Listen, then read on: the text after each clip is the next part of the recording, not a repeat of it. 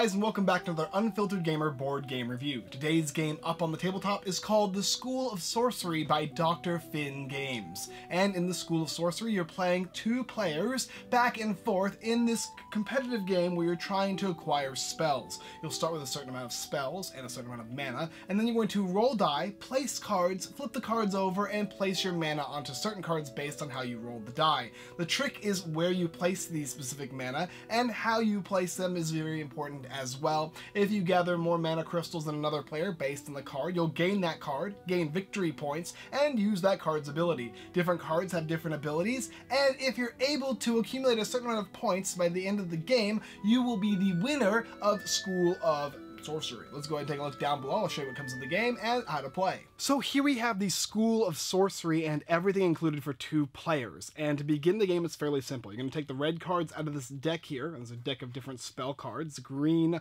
uh, gold, and red. Take them out, shuffle them up, and then deal two out randomly to each player, putting them face up in front of each player for the beginning of their tableau, as well as victory points. After that, take the rest of the cards, and then go ahead and shuffle those cards up and place them to the side. From there, you're going to place the number cards, 6, 5, 4, 3, 2, and 1, and just place them like this, and take the portal card and place it on the 6 space right here. From there, you're going to take the random cards from the top of this deck and fill in each slot next to the number cards. You're also going to go ahead and give each player victory points based on the top right-hand side of each card they start with. So this player will get 2 points, and this player here will get 3 points. Give the oldest player the little wizard hat, which will indicate that they're going to go first, and each player is going to receive 3 three reroll tokens. Additionally, each player is going to get three die, as well as mana crystals, which are going to be hopefully used to gather these magical cards on the area of the board. Final thing here is, as you see, there's going to be cards in a little deck for each player, and it comes with six of them, that will basically be used to indicate whether you're going to flip over your die, as well as place die onto these spaces here to hopefully gain control of these magical cards. And that's the basic setup for the game, and all of the components, other than the fact that it comes with a certain amount of these bonus cards here, which are like exclusive cards.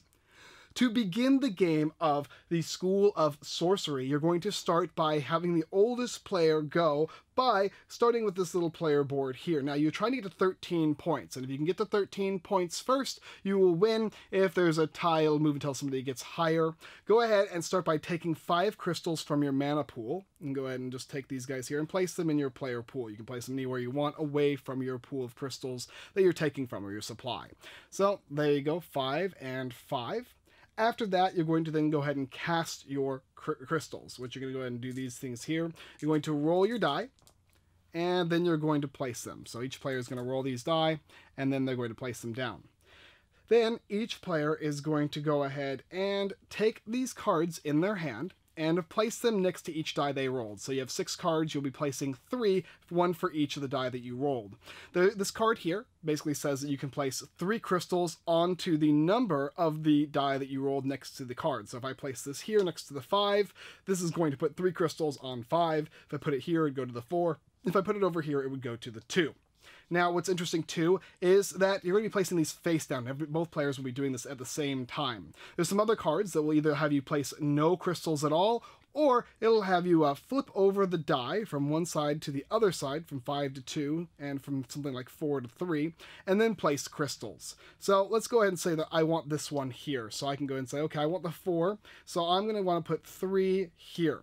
Now, additionally, there is a six, and this is the portal, which is a wild portal, which we'll talk about in a second here. But for the most part, these are the different types of cards in the game you're going to be trying to gather, which will give you victory points and special abilities. There's three types of cards. There are the red cards here, which are basically going to be used every single time you activate powers. There are the green cards that happen as soon as you gather the card, and then there are the one-time use gold cards. So go ahead and place these down how you uh, choose or see fit.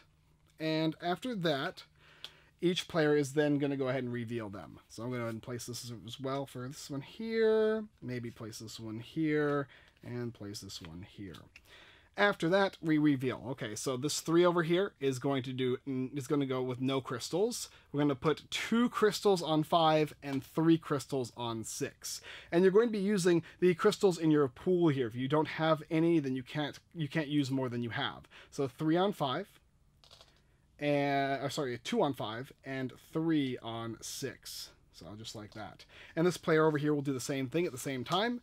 Okay, we're to flip five, and then we're to go ahead and put two crystals on two. We're to put one crystal on two, and then we're to put, uh, oh, we can't put, put this. We have to actually choose something else. We have to choose something like this one here. Two crystals on four, just like that after each player has went ahead and placed all of the crystals that they can or choose to place because you don't have to you don't have to place all the crystals that you have then we're going to move on to using the portal and if it's just one player with their crystals on the portal space, that player will simply choose one of these spaces here to place their crystals down on. So we'll go ahead and place these just like that. He can choose to place them on 5, 4, 3, 2, or 1. If both players had crystals on the portal space, then both players are going to take one of their die, hide it secretly, and then reveal at the same time and place their crystals based on that number. You can only place all of the crystals you have here onto the number that you choose to select.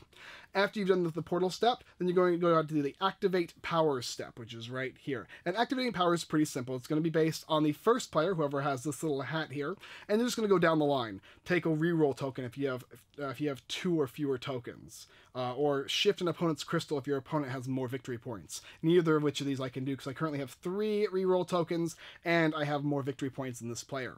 This player over here has a crystal ball, which says roll a die and add one crystal to that location. Uh, two. So I go ahead and add a crystal to that location. I'm not sure if it actually comes from the pool or not, or if it comes from your own pool, but you'd be placing it here regardless. And then this one here says you roll two die and remove one crystal off of each location that your opponent has. So in this case, this would be a three, no crystals my opponent have there, and this is a six. However, if I roll something like a six and a four, I'd remove one of these blue crystals off. After that, all your powers have been used. You're then going to go ahead and evaluate the locations. And how you evaluate is fairly simple. You're going to be looking at the top left-hand side of each of the cards here, starting with six, going all the way across. We've already done the portal, so we're going to go ahead and move on to five. This says you have to have at least two crystals on this space, and be at least one away, one difference from your opponent in order to succeed this. So if, for instance, I had two and one, that would be one away, which would mean that the orange player would take this, this blue player would take this, and the orange player would gather this card. Uh, you're going to basically be getting crystals back, provided you place them on the location if you don't get the card, but it's only going to give you based on the number down here provided. But in this case, I didn't have any as a blue player, so this player is simply just going to get this green card there, which allow you to shift one of your opponent's crystals. And in this case, we'll go ahead and shift this one over to here. Or maybe over to over to here. And uh, then we're going to go ahead and move on to this one here. This one here is the Book of Fate. It says you need to have five, and uh, he only has two, so we're ignoring this space here. This one over here says you need three, and he happens to have three here, so we'll remove those. We'll take this and place it over here as well. And this says he can stop an opponent from using an immediate power just acquired. And you can only use this once a game. You'll be turning it to the side to show that you've initiated the ability to use it. You're also going to gain victory points for each of these that you've gained. So in this case, he's going to gain two victory points. And then we'll check the next one here. He needs four, only has two. He needs five, only has one. Finally, we'll move everything up. So this is going to go up here this portal will go up here, and then more cards are going to fill in the blank spaces on the board. If there are no cards that need to be filled in, it'll stay just like it is. If this portal ever were to go to 1, it would instead go to 6, and cards would fill in from 5 to 1. And then this little hat is going to move. It'll go to the player with the most victory points, and in this case, it's going to be this player over here. In which case, they're then going to take their cards, set them aside over here. They're then going to gather their new crystals, 5, and they're going to go ahead and continue playing just like they normally would. And that's pretty much how the game works. It's going to be a back and forth gathering and bidding game in which you're trying to pick the right die spots, gain the most crystals on each of the different areas, and score points until you hit 13. Don't forget, if you need to, use these little tokens here to allow you to re-roll your die during the casting your crystals phase, because you might not like what you get. So in this case, maybe I don't want two ones and a two, so I can spend one of these to re-roll. But otherwise, oh, that's not a good one. Come on, something else. There you go. But otherwise, that's basically how you play the School of Sorcery by Dr. Finn Games. Let's come up and talk about it. So let's discuss the School of Sorcery. And the first thing about this game is caveats, before I forget. When you shift, you shift from one space to the next. You can't just go from 4 to 1. You have to go from 4 to 3 or 4 to 5. So if it tells you to shift a crystal, you'll move it from one space to another. Additionally, I don't know if you can, if it, when some of these cards, these red cards will say, take a crystal and place it onto the board in some way, shape, or form. I don't know if it's only from your supply or from your, I don't know if it's from your area of crystals that you gain, like your little area that you can spend, like your currency area, or if it's from the supply. Uh, that would be nice to have that cleared up. But otherwise, that's pretty much it as far as anything that I think you need to know about caveats for the game. Uh, these red cards here are always usable throughout the entire game, which makes them very powerful, but they don't have a lot of point value to them. Whereas something more like this green card, which is usable only once, is going to give you up to three points. So you're going to have to go in this back and forth aspect of, do I want more points and less abilities, or do I want more abilities and less points? How do I want to bid? What is my opponent going for? And do the die align with the things that I want? And if it doesn't, how can I better change the die to help me? Uh, the red cards are specifically there to mess with your opponent or to give you some kind of advantage if you are behind. So if you are trailing, having these red cards that help you out when you have less victory points is definitely going to help you. But if you're constantly winning throughout the entire game, most of the red cards will not in fact help you because you will need to have less victory points than your opponent in order to use them. It's a quick and simple game. It utilizes quite a bit of luck because you are rolling die, and once you run out of reroll tokens, if there's no way of you gaining them back, you're going to have a little bit of trouble with that.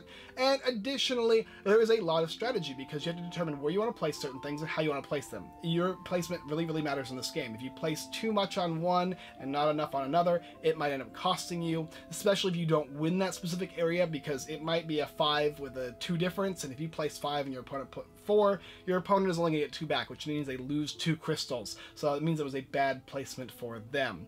It's quick. It plays in about 35 to 45 minutes, and you're back and forth going at the same time. The turns are mostly simultaneous, other than when you choose to use your powers and how you choose to use them. Some cards are obviously better than others, but that's in essence with a bidding game. So if you're bidding on certain cards, you're more likely going to get that specific card, but it might cost you more or less. The portal is also a nice little touch as well, adding a little more strategy to the game because you're placing these crystals on the portal, which will then have a specific phase in the game to move crystals off that portal and place that at any of the other numbers not associated with that portal, and hopefully putting more traction into a specific space so you can gain certain cards. I really, really enjoyed this game. It's a two-player game, which works well with a back and forth. If you want a die roller game that has a little bit of a bidding aspect and a unique mechanic that has you basically rolling die to determine how you want to bid, you're going to enjoy this game quite a bit. My only critique on it, or my only sad thing about it, is the fact that you can't play with more than two players. I would like to see it at four, but after discussing with the designer, turns out that it probably gets a little too crazy in order for that to work. But maybe I'll go ahead and try it nevertheless, just to see how much how, how it would actually work. Overall, School of Sorcery is a lot of fun, and I strongly suggest you take a look at this game if you like two-player games, if you like competitive die roller games, they introduce a new and unique bidding mechanic that I haven't ever seen before. I really enjoyed this one. Take a look down below. It's on Kickstarter if you'd like to pick up the game. Thank you guys for watching, and as always, I look forward to seeing you guys next time.